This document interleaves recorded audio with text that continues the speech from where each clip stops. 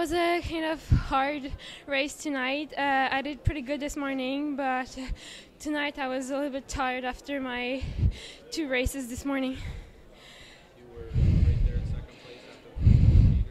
Really strong start. Uh, yeah, but my uh, force is to uh, start uh, the first 100 meters sprint because I am a sprinter. But um, yeah, the second part of my 200 is always hard, but I'm gonna work on that.